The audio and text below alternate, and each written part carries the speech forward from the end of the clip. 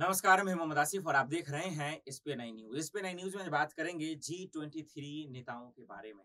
जी हाँ यही नेता जो कांग्रेस की बैंड बजा रहे हैं, यही नेता जो गांधी परिवार पर हमला कर रहे हैं, सवाल उठ खड़े कर रहे हैं।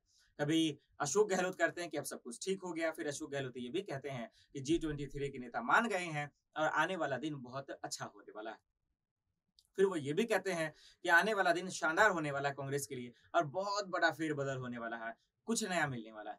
लेकिन इस बीच में जो सबसे बड़ी खबर है वो ये है कि कई ऐसे जी ट्वेंटी थ्री नेता के, बहुत बड़े नेता है जिनका संसद में जो है टाइम पूरा हो रहा है और वो जो है वहाँ से अब रिटायर होने वाले तो उन लोगों के लिए जो एक बड़ी खबर है, फेरबदल में धूमधाम से होंगी और पीएम मोदी ने इन तमाम रिटायर लोगों को लेकर जो है बाखूबी कहा भी था कि अनुभव जो होता है उससे बड़ा ज्ञान कोई नहीं जो एक्सपीरियंस होता है, उससे बड़ा कोई ज्ञान नहीं है। जो तजुर्बा होता है, उससे बड़ा कोई ज्ञान नहीं है।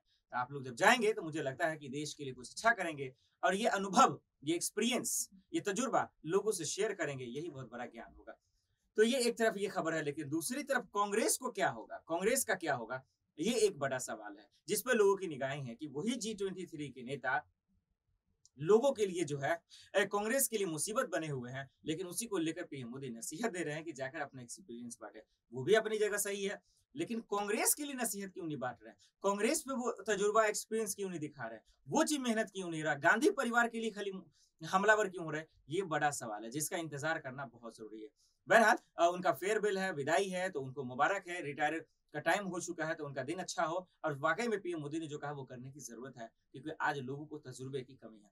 लेकिन पार्टी के लिहाज से देखा जाए तो पार्टी में भी तजुर्बेकारों की ज़रूरत है, उसकी बहुत कमी है। उसका क्या होगा? कांग्रेस का क्या होगा? इस पर आखिर कौन मंथर करेगा? ये बड़ा सवाल है। देखना होगा कि जी ट्वेंटी थ्री के नेता क्या अगर वाकई में मान गए हैं तो कांग्रेस को कहाँ तक ले जाएँगे?